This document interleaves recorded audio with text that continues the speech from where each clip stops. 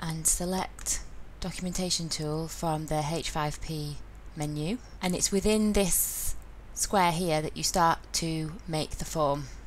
So give it a title and you can start to build what you want your form to look like. So the page type is going to be a standard page. Give it a title and add the elements that you want to add to the page.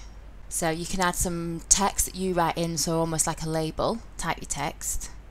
You can add another element. So this is um, text input, so this is where the student would um, add their uh, goals or their input to the text that you've written previously.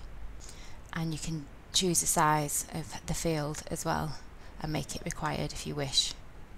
So when you've completed your page, click Add Page and then you can add the document export page